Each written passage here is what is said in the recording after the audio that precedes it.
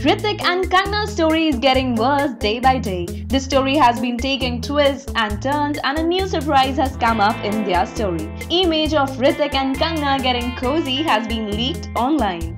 The photo is said to be of the wrap-up party of Krrish 3.